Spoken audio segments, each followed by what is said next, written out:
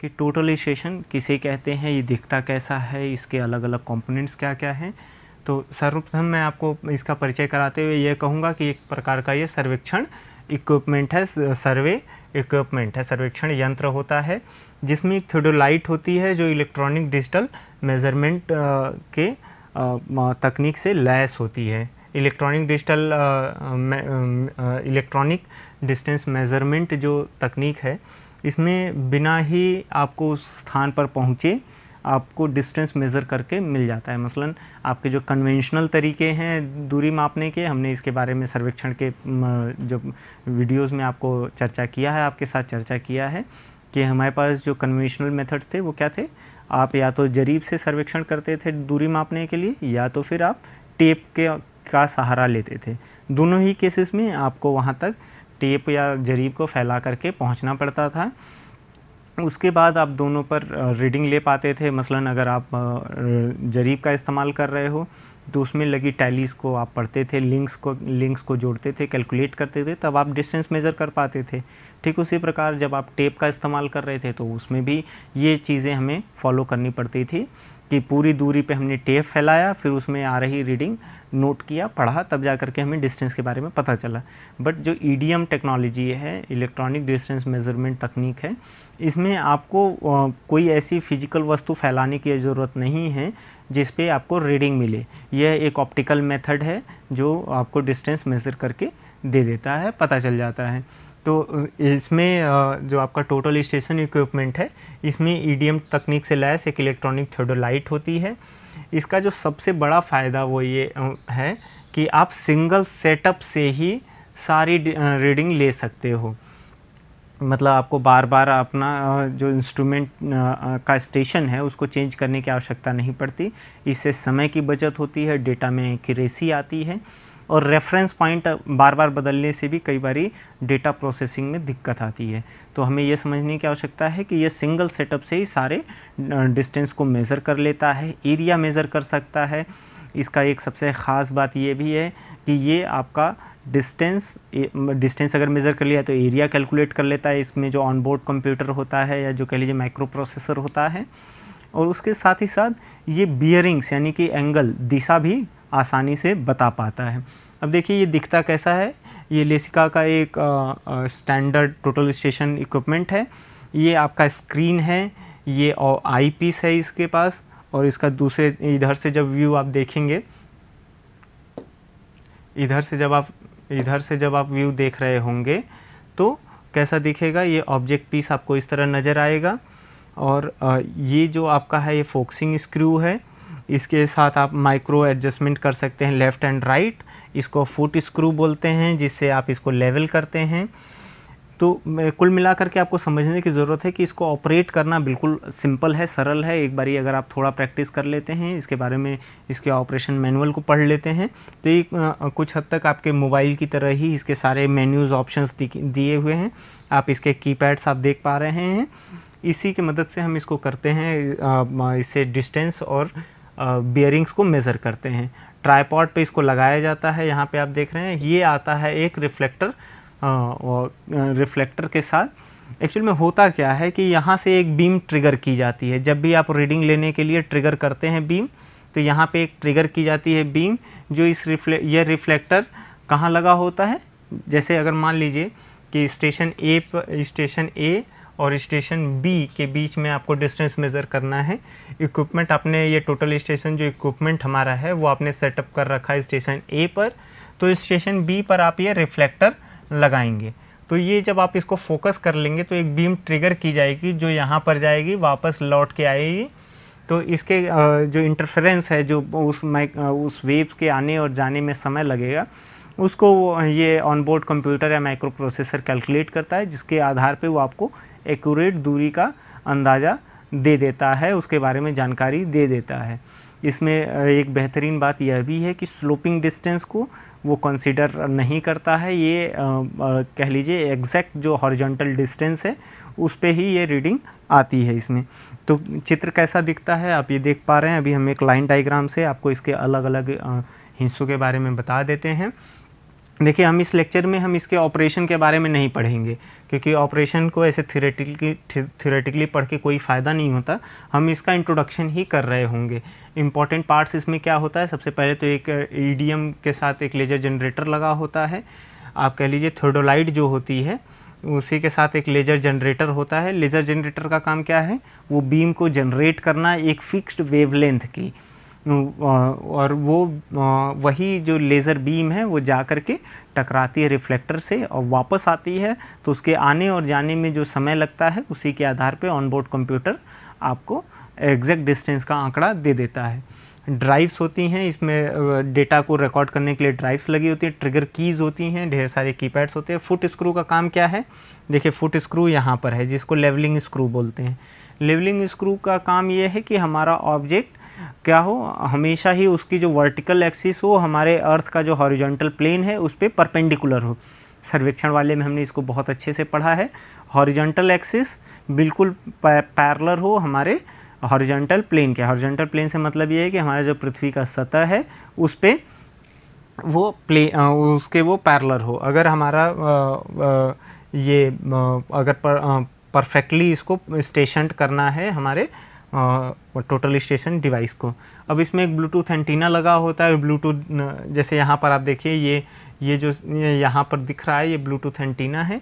कई बार इसको रिमोट से भी ऑपरेट कर सकते हैं तो इसलिए ब्लूटूथ एंटीना वो रिमोट ब्लूटूथ के वा, वाया ब्लूटूथ जुड़ा होता है। तो इसको हम आ, आ, उसके लिए ब्लूटूथ भी होता है बैटरी पैक होता है क्योंकि ये एक इलेक्ट्रॉनिक डिवाइस है तो बैटरी से ही चलेगा।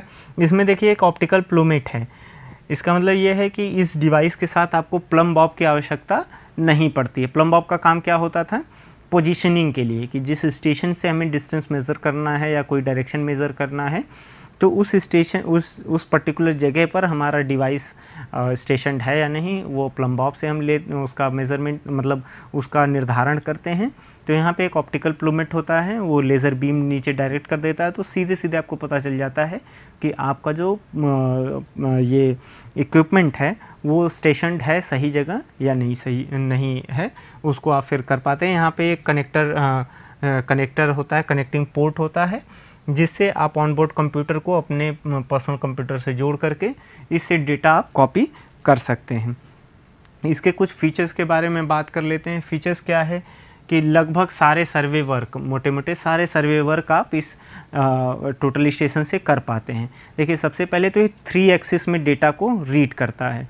जो रेफरेंस हम लेते हैं जैसे इसके पहले अगर हम बात कर रहे थे, मान लीजिए हम उसकी ऑटो लेवल की बात कर रहे थे तो ऑटो लेवल में क्या कर रहे थे हम? किसी भी बेंच मार्क अगर मान लीजिए यहाँ पे बेंच मार्क था तो हम इसका बेंच मार्क अगर मान लीजिए सौ मीटर था फ्रॉम सी लेवल तो हम इस पे से रीडिंग लेना शुरू करते थे और इसके आधार पर आगे की आगे का सब स्टेशन जो भी होता था, सबके हाइट को हम मेज़र कर लेते थे। मतलब ये बैक साइड लिया, अगर मान लीजिए दो मीटर आया तो हम मान लेते थे कि जो लाइन ऑफ़ कॉलिमेशन है, वो 102 मीटर पे है।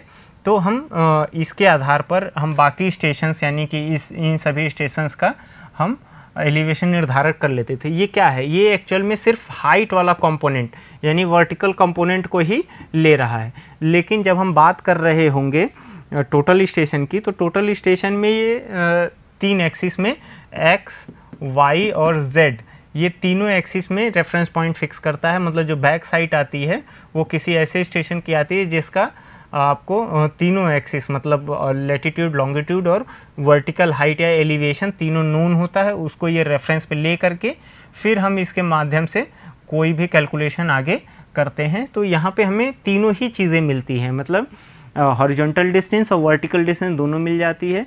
और बियरिंग के लिए हम फिक्स कर लेते हैं तो अमूमन हमारे पास सर्वेक्षण में तीन ही चीज़ें हम मोटे मोटे मेज़र करते हैं मतलब लंबाई या दूरी ऊंचाई या गहराई दिशा दिशा मतलब कि हम उसमें जो भी हमारे बियरिंग्स है, उसका मेज़रमेंट करते हैं। तो ये तीनों ही चीज़ें बड़े आसानी से इसमें टोटल स्टेशन में एक ही इक्विपमेंट के साथ किया जा सकता है। इसमें इलेक्ट्रॉनिक डिस्टेंस मेज़रमेंट सिस्टम है। मतलब कुछ जो फ़िज़िकल अवरोध होते हैं, वो इसके लिए बहुत मायने नहीं रखते। मसलन, अगर स्टेशन ए यहाँ पर है और स्टेशन बी यहाँ पर है और इन दोनों के बीच में कोई एक नदी गुजर रही है।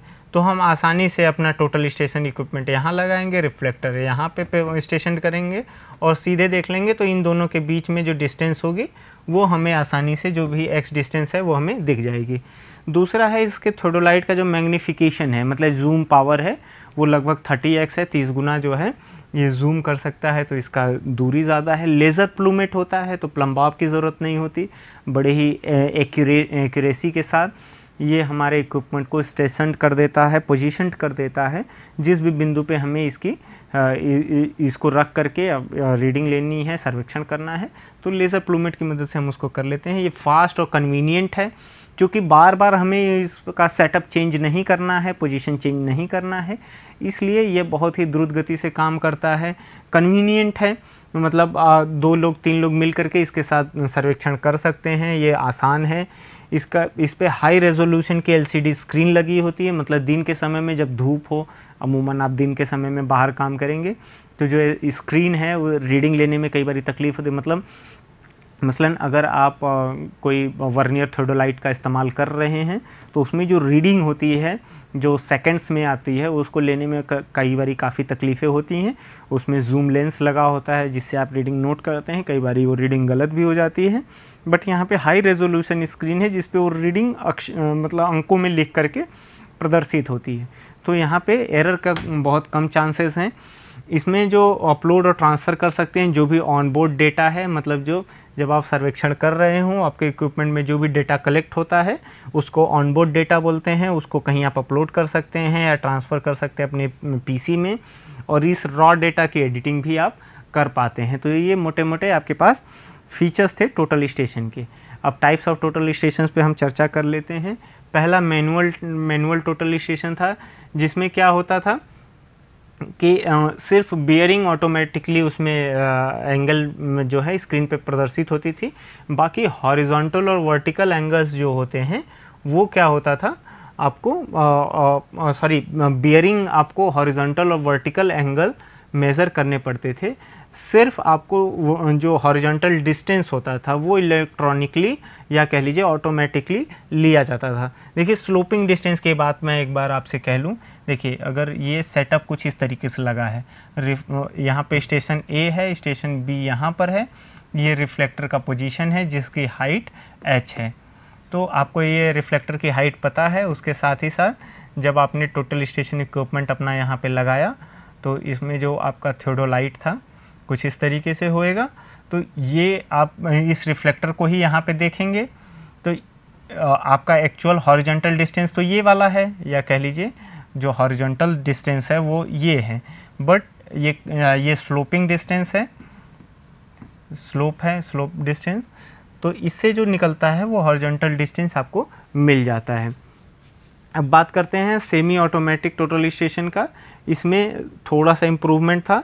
हॉरिजॉन्टल एंगल और जो आपका स्लोपिंग डिस्टेंस था, वो सॉरी हॉरिजॉन्टल एंगल आपको मैनुअली लेना पड़ता था और बाकी स्लोप डिस्टेंस और वर्टिकल एंगल ये ऑटोमेटिकली हमारा टोटल स्टेशन कैलकुलेट करके आपको दे देता था स्क्रीन पे इसकी रीडिंग आ जाती थी। तो ये हमें समझने की ज़रूरत है कि मैनुअल में क्या होता था?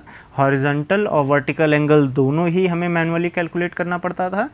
लेकिन जब आप semi automatic semi automatic total station की बात करेंगे तो वहाँ पर आपको हॉरिजॉन्टल एंगल ही आपको मैनुअली कैलकुलेट करने की ज़रूरत है।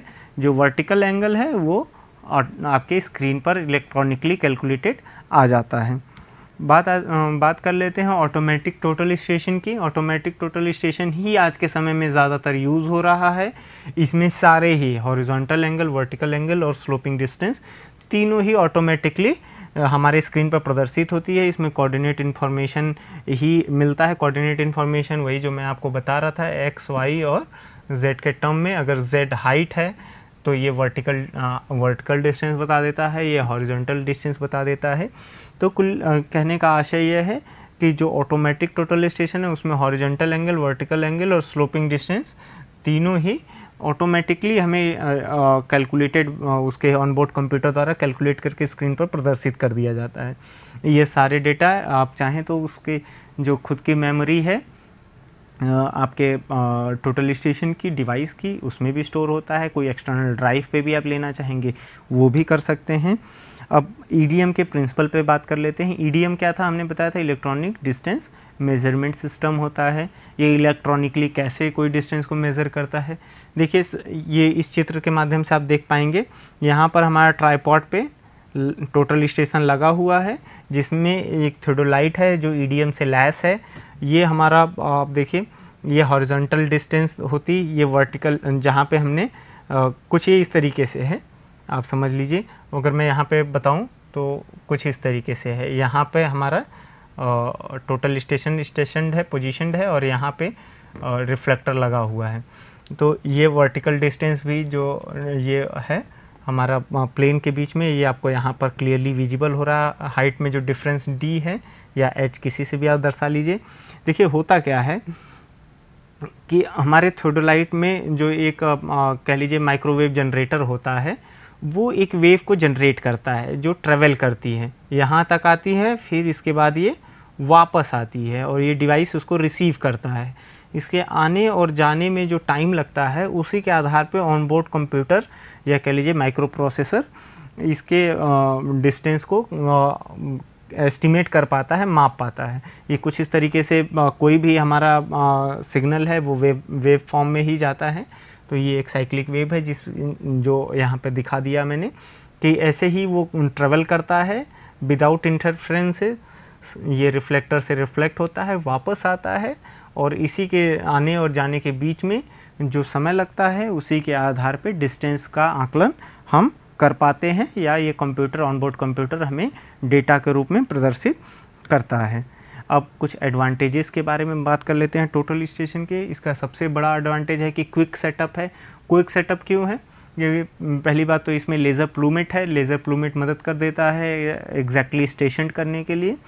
फुट स्क्रू से इसको इजीली मेज़र कर सकते हैं। इसको इजीली हम लेवल कर सकते हैं क्योंकि ऑन बोर्ड कंप्यूटर हमें एलसीडी स्क्रीन पर वो पॉइंट्स दिखाता रहता है, दर्शाता रहता है। इसमें बबल्स को बहुत ज़्यादा केयरफुली हमें देखने की आवश्यकता नहीं होती है क्योंकि स्क्रीन पे ही आता रहता है सारी चीज़ें तो हम फुट स्क्रू की मदद से ले या लेवलिंग स्क्रू की मदद से हम उसको लेवल कर लेते हैं। अपने टोटल स्टेशन को तो लेवलिंग आसान हो जाती है। फोकसिंग भी आसान है क्योंकि यहाँ पर जो हमें थोडोलाइट मिलता है, वो 30x जूम के साथ मिलता है, कई और भी एडवांस हमारे पास टोटल स्टेशन है तो उसमें फोकसिंग भी आसान है।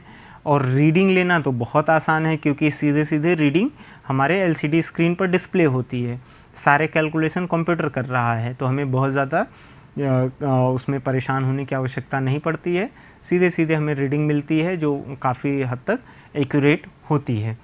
इसमें सबसे बेहतरीन बात है कि जो सॉफ्टवेयर है, उस होता है टोटल स्टेशन का, उसके आधार पर जो हमारे पास ऑन बोर्ड कंप्यूटर या कह लीजिए माइक्रो प्रोसेसर है वो अगर आपने डिस्टेंस मेज़र कर लिया तो एरिया भी बता देता है। देखिए अगर मान लीजिए स्टेशन ए से हम रीडिंग ले रहे हैं ये कुछ तीन चार स्टेशन है। मान लीजिए ए बी सी डी और ई e.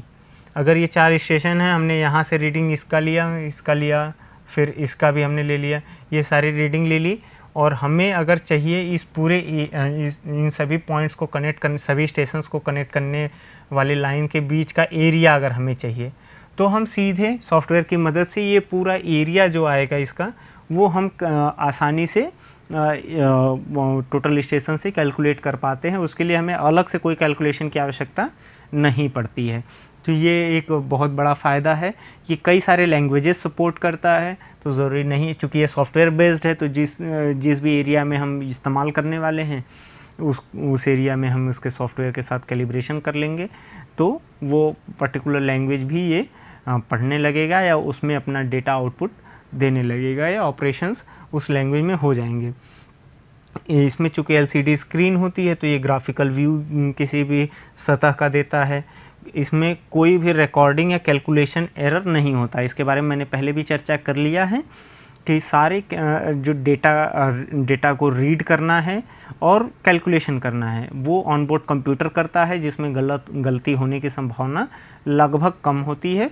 तो इसलिए जो इससे डेटा मिलता है, उसमें ह्यूमन एरर कह लीजिए काफ़ी हद तक रिड्यूस हो जाती है या एलिमिनेट हो जाती है। ये काफ़ी एक्यूरेट मेज़रमेंट देता है और डेटा हम किसी भी कंप्यूटर पे सेव कर पाते हैं, सुरक्षित या संरक्षित कर पाते हैं। कुछ डिसएडवांटेजेस भी हैं, इसका हम बात कर लेते हैं। सबसे बड़ा डिसएडवांटेजेस ये है कि बहुत महँगा होता है। अमूमन साढ़े तीन लाख से ऊपर ही अच्छा जो टोटल स्टेशन आता है साढ़े तीन लाख से ऊपर ही आता है। तो कह सकते हैं सबसे बड़ा इसका नुकसान यही है कि महँगा है। दूसरा एक थोड़ा सा ड्रॉबैक इसका डिसएडवांटेजेस ये है कि इसके लिए स्किल्ड सर्वेयर की ज़रूरत होती है। क्योंकि ये ऑपरेशन थोड़ा सा ट्रिकी है इसको आप लेस स्किल्ड या अनस्किल्ड लेबर के साथ आप नहीं काम कर सकते हैं सर्वेयर के साथ काम नहीं कर सकते हैं। इसमें थोड़ी सी ट्रेनिंग इनिशियल ट्रेनिंग ज़रूरी होती है तो ट्रेनिंग में भी खर्च इन्वॉल्व हो जाता है। या कह लीजिए जो स्किल्ड सर्वेयर है, उसका आपको कॉस्ट भी ज़्यादा पड़ता है।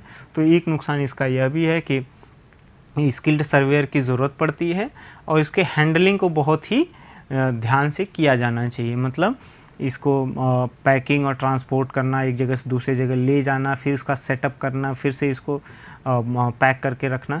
ये सारा काम बहुत ही चूँकि ये बहुत सोफेस्टिकेटेड बहुत ही टेक्निक बहुत ही ट्रिकी चीज़ है तो इसलिए हमें इस पर ध्यान रखना पड़ता है कि इसका हैंडलिंग बहुत ही प्रॉपर तरीके से किया जाए। तो कुछ ये कह लीजिए हमने टोटल स्टेशन के बारे में थोड़ी बहुत जानकारी इकट्ठा करी। इसी तरीके से हम कुछ जीपीएस के बारे में भी जानकारी इकट्ठा कर लेते हैं। यहाँ पर एक चित्र के माध्यम से हम बताएँगे, ये एक हैंड हेल्ड जी है। हैंड हेल्ड जी का मतलब क्या है? एक छोटा जीपीएस डिवाइस जिसको आप अपनी जेब में रख करके सर्वेक्षण के दौरान कहीं भी जा सकते हैं और उसे रीडिंग ले सकते हैं। जीपीएस का फुल फॉर्म है ग्लोबल पोजिशनिंग सिस्टम जिसको शॉर्ट फॉर्म में हम जीपीएस कहते हैं, यह एक सैटेलाइट बेस्ड नेविगेशन सिस्टम होता है, जिसमें लगभग 24 सैटेलाइट अपने ऑर्बिट में ऑर्बिट मतलब कक्षा होता है, जिसमें सैटेलाइट मूव करती हैं, चक्कर काटती हैं पृथ्वी के। तो लगभग 24 सैटेलाइट की मदद से हमें इसमें डेटा मिलता है। अभी हम आगे बात करेंगे कि डेटा किस रूप में मिलता है। कुल मिलाकर के आइडिया ये है कि जो जीपीएस है, वो आपका लेटीट्यूड और लॉन्गिट्यूड अक्षांश और देशांश के रेफरेंस में आपको पोजीशन के बारे में बताता है। तो कुल समझने की आवश्यकता ये है कि जो हमारा जीपीएस है, वो 24 सैटेलाइट की मदद से हमारा एग्जैक्ट पोजीशन मतलब जिस वक्त हम इस जीपीएस डिवाइस को अपने हाथ में लिए होंगे और रीडिंग ले रहे होंगे तो ये सैटेलाइट कम से कम तीन या चार सैटेलाइट जब तक रेंज में नहीं होती, तब तक डेटा एक्यूरेट नहीं आता। जैसे ही आप खुले आसमान के नीचे जाते हैं, तीन चार सैटेलाइट के रेंज में आप आ जाते हैं और डेटा आपको मिलने लगता है। अब देखिए, ये करता क्या सैटेलाइट कुछ ट्रांस कुछ सिग्नल को ट्रांसमिट करती हैं, जो हमारे पास जो ये हैंडहेल्ड जीपीएस होता है, इसको रिसीव करता है और उसको प्रोसेस करता है, हमें रीडिंग देता है। देखिए, इसके कुछ कंपोनेंट्स के बारे में बात कर लेते हैं, ये तो उसका एक ग्रेम ग्रेमिन कंपनी का ये डिवाइस है ईटरेक्स जिसको हमने, जिसका चित्र दिखा है इसका जब लाइन डायग्राम आप देखेंगे तो इसमें दो बटन है जूम बटन आप इधर देख पा रहे हैं जूम इन जूम आउट इसके बाद ऑपरेशन एंड बटन है, ये थंब स्टिक है, यहाँ पे दिख रही है, इससे लेफ़्ट या राइट नेविगेट कर सकते हैं, जैसे आप मोबाइल में करते हैं। मोबाइल में अब तो टच स्क्रीन है तो आप फिंगर से ही स्वाइप कर लेते हैं बट पहले स्क्रीन को लेफ़्ट या राइट अगर इधर देखना है तो आप थम से इसको इस दिशा में घुमाते थे तो इस एरिया का आपको चीज़ें और भी स्क्रीन पे विजिबल हो जाती थी। इसमें कॉम्पस सेटिंग सेटिंग मार्क आता है पावर बटन है और पेज बटन है कि आप पेज को इसके बीच में स्क्रॉल कर सकते हैं शिफ्ट कर सकते हैं। तो ये हैंड हेल्ड जी का चित्र है। इसके इसके बाद हम कुछ और चीज़ें समझेंगे। सेटेलाइट के कॉन्स्टलेशंस के बारे में देखें।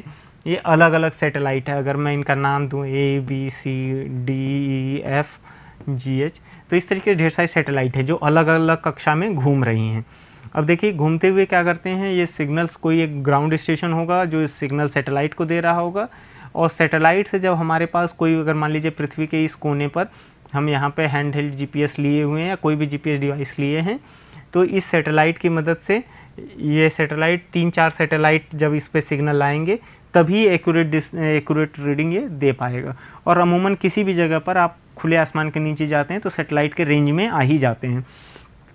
तो जब इन सभी सेटेलाइट के बीच से जब ये रेफरेंस डेटा लेता है तो यह जो हमारा स्क्रीन होता है इसका, उस पर आपको लैटीट्यूड और लॉन्गिट्यूड मान लीजिए कि ये कुछ इस तरीके से आ गया 60 डिग्री ए 52 मिनट और 48 सेकंड्स कॉमा थर्टी डिग्रीज कुछ भी इस तरीके से मैं एक रैंडम डेटा लिख रहा हूँ, ये कॉमा है फोर्टी मिनट और मान लीजिए थर्टी टू सेकेंड्स तो ये क्या है हमारे पास? अच्छांश और देशांश में इस पर रीडिंग आ जाती है। इसी तरीके से देखिए, अगर मान लीजिए सर्वेक्षण करना है, अगर कोई ये प्लॉट इस तरीके से आपका पड़ा है। कोई छोटा प्लॉट होगा तो आप सीधे सीधे प्लेन टेबल की मदद से बना सकते हैं या फिर आप टोटल स्टेशन की मदद से बना सकते हैं। अगर बहुत बड़ा एरिया है तो आप क्या करेंगे? ए बी सी डी जो स्टेशन है, सभी का आप अक्षांश और देशांश मतलब सभी का लैटिट्यूड और लॉन्गिट्यूड्स नोट कर लेंगे। मान लीजिए ये एक्स वाई था तो X one Y one X two Y two इसी तरीके से एक्स थ्री वाई थ्री ये जब आप नोट कर लेंगे तो आपको यह फिर से जब आप कई सालों बाद आप वापस जाएँगे और अपना इसका बाउंड्री करना चाहेंगे उस पर्टिकुलर एरिया का तो आप आसानी से इसको कर पाएँगे, समझ पाएँगे किसकी मदद से? हैंड हेल्ड जी की मदद से आप उस पर घूमते रहेंगे, जहाँ पर आपको रीडिंग मिल जाएगी। आपके ठीक जो डिवाइस है उसके नीचे जो स्टेशन है, वही आपका डिज़ायर्ड स्टेशन है। इसमें आप कोऑर्डिनेट सिस्टम समझ पा रहे हैं। देखिए यहाँ पर ये लॉन्गिट्यूड लेटीट्यूड्स हैं। लेटीट्यूड्स क्या होते हैं? ये कुछ इस तरीके से होते हैं। ज़ीरो डिग्री लेटीट्यूड हमारा इक्वेटर है। इस तरीके से फिर ऊपर घूमने लगा है। वहीं लॉन्गिट्यूड्स की बात करते हैं तो आप देखिए, ये लॉन्गिट्यूड्स हैं। अब कई बार आप ये जो रीडिंग आती है, कैसे आती है? मान लेते हैं कि ये कुछ इस तरीके से लॉन्गिट्यूड है ईस्ट की तरफ़, और ये लेटीट्यूड है। हम यहाँ पर खड़े हैं। तो ये कोऑर्डिनेट में ही रीडिंग आती है हमारे डिवाइस पर। अब देखिए एक ग्राउंड कंट्रोल कंट्रोल सेगमेंट है, जो ज़मीन से ही सेटेलाइट को सिग्नल भेज रहा है। और ये सेटेलाइट्स क्या कर रही हैं? देखिए, यहाँ पे इस समय चार सेटेलाइट रेंज में हैं। तो इन चारों सेटेलाइट ने जब इसके पास, इस व्यक्ति के पास हैंडल्ड जीपीएस पे सिग्नल डाला, तब इसको कोऑर्डिनेट सिस्टम मतलब एक्स और वाई लेटीट्यूड और लॉन्गिट्यूड के रूप में इसको रीडिंग मिल जाती है जिससे उस स्थान का निर्धारण हो पाता है। इसके एप्लीकेशंस क्या हैं? मैरीन सिस्टम में, यानी कि समुद्र में इसका इस्तेमाल होता है, जहाँ रेफरेंस बहुत कम मिलता है एयरप्लेन्स में इस्तेमाल होता है।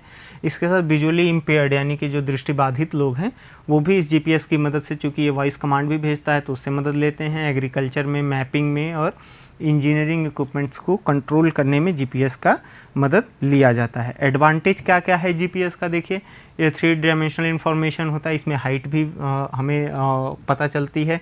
वेदर इंडिपेंडेंट है बारिश हो रही है धुंध है कोहरा है कोई फ़र्क नहीं पड़ता क्योंकि सेटेलाइट से लिंक्ड है तो सेटेलाइट सिग्नल आ रहे हैं तो आपका काम चलता रहेगा। डे नाइट ऑपरेशन है कोई फ़र्क नहीं है आप दिन में अपना सर्वेक्षण कर रहे हैं रात में कर रहे हैं। रैपिड डेटा ऑपरेशन है लेस लेबर है। और इसमें लेस स्किल की भी ज़रूरत होती है क्योंकि